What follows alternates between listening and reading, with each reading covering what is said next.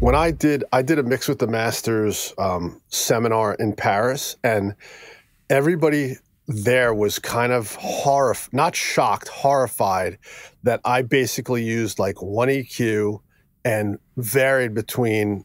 Generally, my work is between two limiters. Maybe there's a third or a fourth that come in every now and then for music that I can't get to sound right with the other limiters. And they were like, that's it. And I was like, they're like, you're a purist. And I was like, no, like, I feel like if I just work in these parameters, I push myself to get the sound with those. And only when I can't is when I step out of those, that, that channel strip. And these guys were like, you know, some guys were talking about, oh, I use this limiter for the bass, and then I use this, I split it, and I use this limiter for the top end, and I use this EQ, and this and that, and this. And I'm like, that's your channel strip. Like, there's so many things in there. yeah. And instead of being like, make a pure, like, this is my EQ, this is my limiter, this is whatever, you know, just use a couple things. And then if it doesn't work, then swap them out. But these guys were using everything all the time. And I was like, it's just like, you kind of you're you're not allowing yourself to push yourself. You're just you're you're you have everything in there, and you're like click click click click click, and you're. I think you lose the direction of the music by just saying like, oh, I have nine things and I'll put all nine things in. You know, like you know that'll fix it and all nine things were recommended on you know some youtube guy's channel or yeah of course or whatever of course. Because know? look the youtube rec- the youtube uh, lectures that are by people who haven't mixed or mastered or produced a you know a record that people actually listen to you got to take them with a huge pinch of salt because the incentive there is to drive views so that you can accrue revenue from the youtube views they are yeah. not necessarily pro mix engineers um, with the people who were saying you were a purist i'd never advocate arrogance but of course you might be tempted to point out it's like well you're the ones attending the seminar and i'm the one teaching it yeah, yeah. I mean, yeah, I, that totally. Um, it was funny when I left the seminar. I found myself going back to some analog gear and and uh, reapproaching my work. Like it just their questions. You know, 20 people in the class, and 20 people had 20 different lanes of the way they work or workflow or whatever. And it kind of made me think to myself, like, should I change my workflow? Should I should I try this? And I've opened myself up to you know, trying new things now and you know, I've kind of expanded some of my gear here and I've tried I've tried some new things. So it did work a little bit, but at the same time I still have my template that I use. Mm-hmm. automatically because that's where I start. You need to start somewhere. You can't just be randomly I feel I mean I feel for me I can't just be randomly throwing pieces in and you know well, like no, when I do an out when I do an album I try and keep it glued together. Yes. You know, instead of just randomly throwing things in.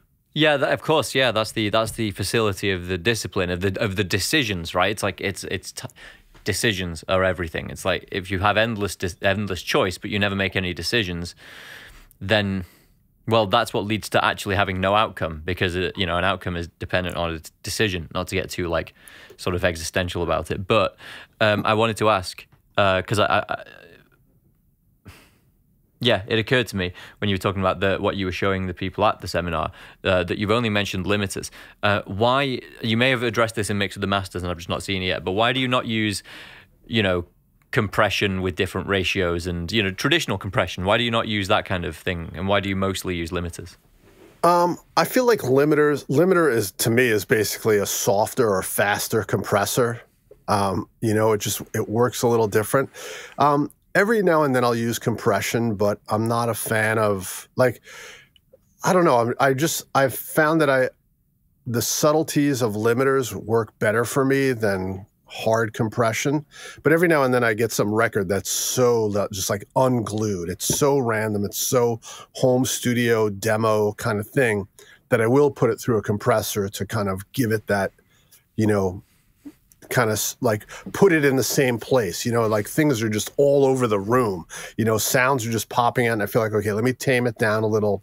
Let me run it through some analog stuff to kind of like fill in some gaps right or whatever and then i'll use that i'm just um i mean way back in the day i used to use a, a compressor very lightly for disc cutting um but i just felt like for me now limiting is kind of whatever i may be I, I may or may not be working on some form of light compression thing coming up but we'll see.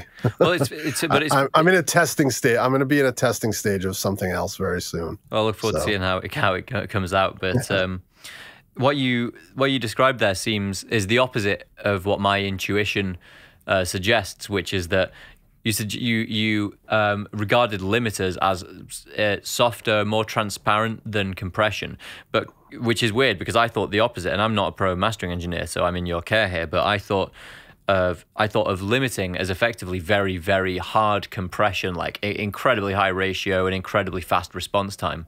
But it sounds like I'm mistaken about that. What's no, I mean it, I, I it's hard for me to explain the the like the compression part it can be used soft in some senses, but for the most part, I feel like it's just too hard for like the it, it slows down the movement too much. Right. Where a limiter kind of just tops the peaks and doesn't really like squeeze it together as much. Uh, I get it. Kind of gives a very soft, transparent haircut to the transients. Yes, where the other one kind of just like does this, you know. yeah, it starts. It starts obviously shaping it, and you're shaping transients, and you're giving the dynamics a completely different temporal landscape. Yeah. I mean, I do. I you know, I had somebody here the other day, and uh, he was amazed by how much I get into the limiter settings and really sweep them and turn them to see what happens. And I'm like, that's what the knobs are for you know, right. to literally like presets are great. Presets, I once in a while I'll like click on a preset just to see like, okay, what does that do? But for the most part, I know like when I'm listening to this song, I know, you know, I'll click on the the algorithm template and then I'll, you know, kind of go in and and you know dial the release and the attack and the this and the that and you know the the just all I'll just turn every knob until I feel like okay that's moved into the right place. That's moved you know like it's almost like you know I mean it's Photoshop now. I you know like I laugh at myself when I'm doing Photoshop because I literally click on every single button you know and I'm like that's kind of what I do in mastering anyway you know I'm like oh it's contrast oh this oh black you know like you know just like different things. And it's like you have to turn the knob to see what it does that's interesting because you described limiters there as the opposite of what I would have previously understood them to be, which is like a one setting thing. But there, you are actually dialing all these parameters. So the, the, presets are like click, and then it gives you a couple little options. But I use them in manual all the time and kind of sweep through and see, you know, what it'll do. A lot of times, like my recalls, like you would think a lot of times you just put on the limiter and it's kind of like okay adjust the level and maybe this a couple little things but my limiters like I, I might use the same limiter for 13 songs but the settings will be completely different across the board